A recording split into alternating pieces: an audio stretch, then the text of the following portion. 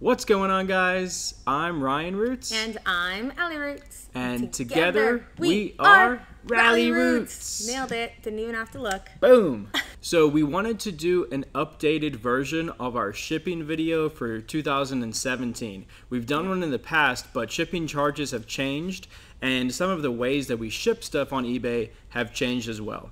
So, in this video, we're going to be talking about our five top ways to ship our items that have sold on eBay. Before we get too into it, what I will say as well is that the shipping charges that we tell you may be slightly different for you just because our discounts that we get through eBay may be slightly different. We've tried to price it a little bit on the higher end um, just in case you guys aren't getting the same kinds of discounts, but just be aware our figures may be a few cents off here and there.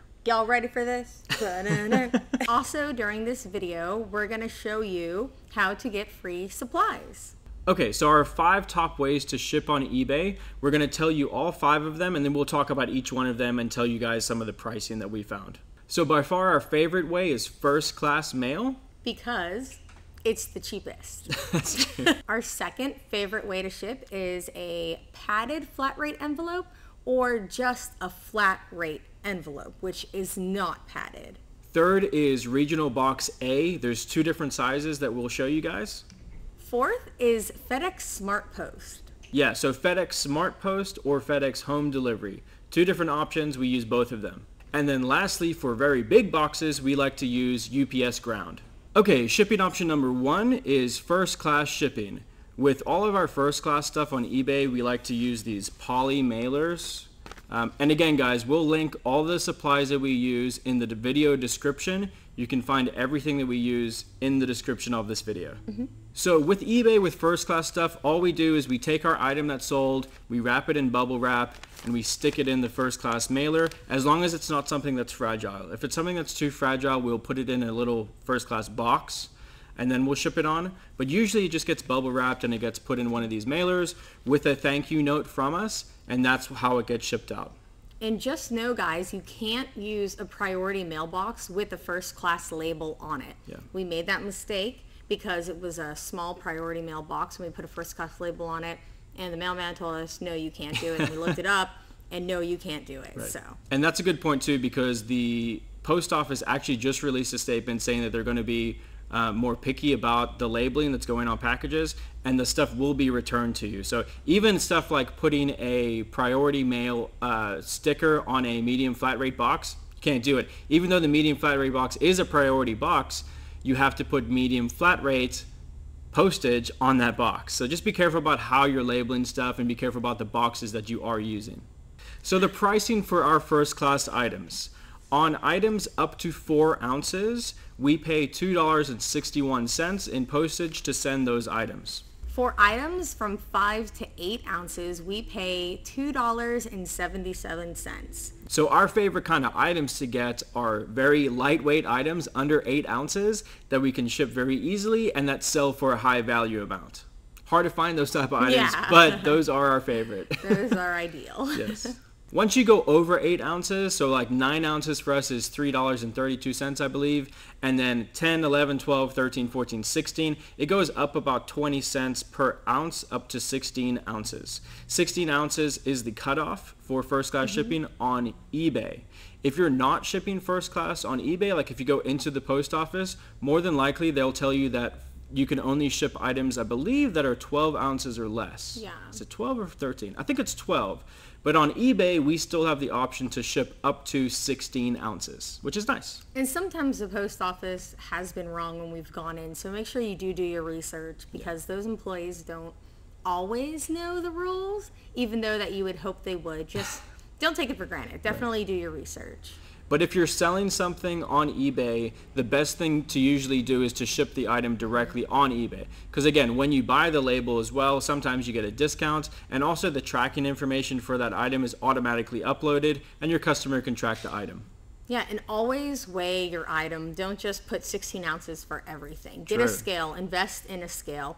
In the end, every 10 items you sell, it'll save you about eight to nine dollars. Yes. If you're actually putting in the proper weight. So And the scale that we like to use is this little Saga scale. This is the one we use for our lighter weight items. It's good up to 66 pounds, but we don't like to weigh anything more than like 20 pounds on the scale. But it is a very good, durable little scale. And again, we've linked the scale down in the description. We have a small one for smaller packages and a larger one for our larger packages and our Amazon stuff and our wholesale stuff. That one's good up to, I believe, like 440 pounds. Um, both of those are linked in the description below. Remember when we used to weigh 50 pound boxes on that tiny little scale, how annoying it was? And then we finally got like six scale. to eight months later, a bigger scale. And I wish we had done that from the beginning. True. So yeah, just learn from our mistakes, guys.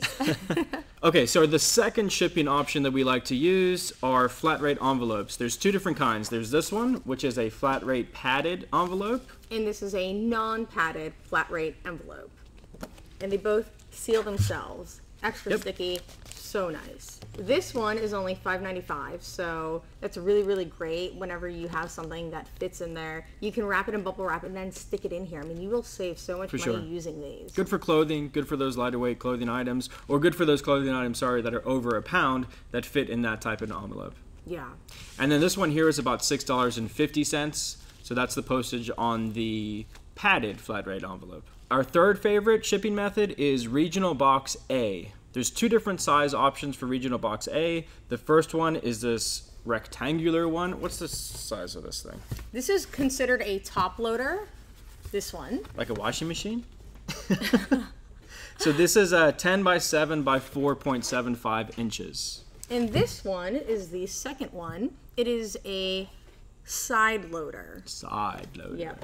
And these ones, the maximum weight is 15 pounds. It even says so on the box. Mm-hmm.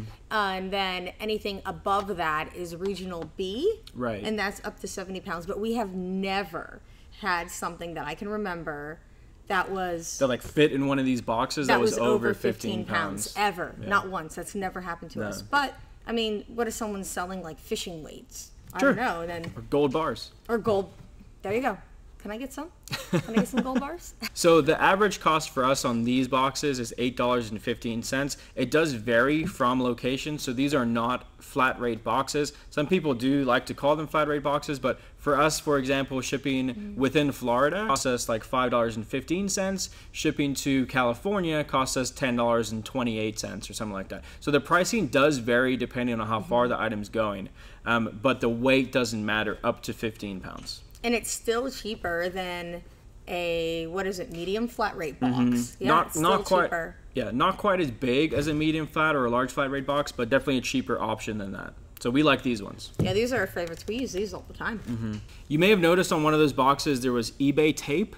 We do like to use the ebay tape mostly because when you have a store on ebay when you pay for a store each quarter they send you a coupon for free eBay shipping supplies. So I think with our store we get a $50 coupon and we use that usually to buy eBay tape. We do also buy to buy the eBay branded poly mailers and some of the boxes, but the eBay tape is great because tape's kind of expensive tape is very expensive Yeah. yeah and this tape's worked fine for us. I know some people don't like it because they say it smells weird. it does it smells weird but if you let it air out before you use it, it's actually okay. It doesn't let- smell that bad anymore. we let all of our tape air out Mm-hmm. before we use it So we like to use the eBay tape, um, and we like to use these Duck brand tape guns with the padded handles. Again, link in the description if you need any of this equipment, guys. So the next option that we like to use with shipping on eBay is FedEx Smart Post or FedEx Home Delivery. Those are for items that are a little bit heavier that we don't want to put in a medium flat rate box.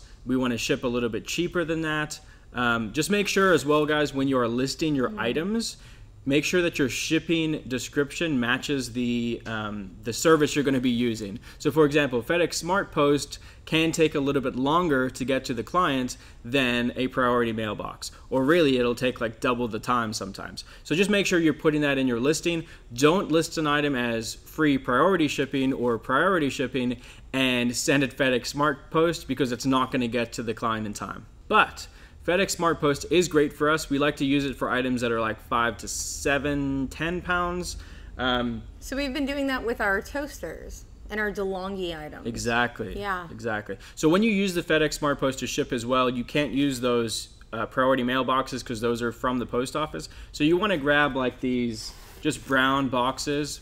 What we like to do sometimes is when we buy stuff from Amazon, they send us these boxes, these Prime boxes, and we just keep them and we recycle them for the items that we use to send uh, FedEx SmartPost. I'm all about recycling because when I was a kid, they ingrained that into you to recycle and you save money. But honestly, I feel a lot better about myself when I recycle. So we always recycle. Yes. And nobody has ever complained about us using recycled items, which is No, good for you guys to know. People do not complain about you recycling. And if someone were to, just explain you like to recycle. yeah. Actually, one of my favorite things to do is take a Amazon box and tape it over with eBay tape. So they get like an Amazon Prime box with eBay tape over it. It doesn't matter, guys. As long as you're shipping the product on time and the item is the, the item that they wanted. So for for FedEx SmartPost or FedEx Home Delivery, on average, to ship like a seven pound box for us costs us between eleven and fourteen dollars. So, like you can see, a little bit more than that regional A box. But if it's too heavy or if it's a bit of a bigger item that doesn't fit in those box, that's when we like to use the FedEx SmartPost or the home delivery option. For large, heavy items, USPS is almost double Yeah. in price than the FedEx SmartPost and or home delivery. So always consider it, always look at your options. Mm-hmm. And once you get very acquainted with it, you'll know. You will. You'll get comfortable with it and you'll know which one is the option to choose. And you can buy FedEx postage directly on eBay the same way that you buy USPS postage. It's just a drop down option on eBay. Just click it, drop it down to FedEx, and you can put in your weight and dimensions, and it's literally the same way as shipping anything else. And then lastly, our favorite way to ship these larger items, so big boxes, 18 by 18 by 24 boxes that are like 50 pounds, we like to use UPS ground to ship those boxes. So on average, when we're shipping something like that using UPS ground, it's costing us anywhere from 25 to 35 dollars mm-hmm. for a 50 pound large box. But again, that's going to be a much cheaper option than USPS or FedEx most of the time, unless it's going within state or something like that. So if you buy a vacuum, that's probably the way you're going to ship it. Correct. Now, UPS shipping, as far as I know, I haven't been able to, you cannot buy that shipping on eBay, but you can buy it through PayPal. And what I'll do is I'll flash to my laptop screen now and I'll show you guys exactly how to find that shipping option so that you know that it's out there. The cool thing about PayPal is even if you buy your shipping through PayPal, if the item is sold on eBay, they still communicate with each other. And if you buy the shipping through PayPal, it will still upload the tracking information to eBay and show as your item has been shipped. Yeah, they're linked. They're friends. They're friends. They used to be the same company, actually. Not anymore, Not though, anymore. right? Yeah. So buying UPS shipping through PayPal is very simple. Once you've logged into your PayPal account, all you do is you find the item that is sold or the payment that you've received and you click on that item. Once you've clicked on that item, it'll pull up a sales sheet like this and very simply right here you just click on ship and then it'll pull up a shipping page. Once you're in the shipping page, you can change the carrier from USPS to UPS, and then you can change the service type to UPS ground. And then from there, it's very simple just the weight, dimensions, and you hit calculate, and there you go. You can buy the shipping directly from your PayPal account, and it will link back to your item being sold on eBay. And then last of all, guys, free shipping supplies. So USPS.com, you can go there and you can literally get free shipping supplies. So the ones that I showed you, the, the priority boxes, the padded flat rate envelopes, the regular envelopes, you can go to USPS.com and order those supplies for free. And again, I'll flash over to my computer right now and I'll show you guys exactly where to find those items and how to order them because it is really helpful. You don't have to go and buy boxes, you don't have to spend money on priority boxes. You can literally go and order free supplies. Ordering free supplies on USPS.com is very simple. All you have to do is go to the Mail and Ship tab, and then you go to Order Stamps and Supplies. Under that section, there's a Shipping Supplies tab. Just click on that. And then under that section, there is a Free Shipping Supplies section. If you click on that, that'll show you all the supplies that you can get from USPS for free. So, for example, here's the padded flat rate envelopes. You can click on those and you can order them in packs of 10 or packs of 15 and i believe you can order 10 at a time so 10 packs so 100 of those envelopes at once And from there, it's very simple. You just put in your shipping information and they will ship it to you for free. So it literally is 100% free shipping supplies. You can also go into the post office and pick up free shipping items, but rarely ever do they have what you need. That's true. Like they've never had what Yeah. we needed but twice ever. And make sure when you go to USPS.com and order shipping supplies, be willing to wait because a lot of the times it takes like two weeks for the supplies to get to you. So make sure that you're ordering your supplies far ahead of time. Yeah, don't procrastinate. We've done that. We regretted it. Don't do that. I hope you guys didn't hear my tummy growling in the video. Are you hungry? My, yeah, I mean, I ate breakfast before leaving, but that was a while ago. I just had a Oop, protein shake. oop, it's growling again. Oh, now it's done. And there you go, guys. That is the updated 2017 shipping guide. Today it is July. What's the date today, actually? Oh, I got you. I July 25th. So July 25th, 2017. Those are our five top ways to ship for 2017. I hope you guys enjoyed this video. I hope you got something out of it.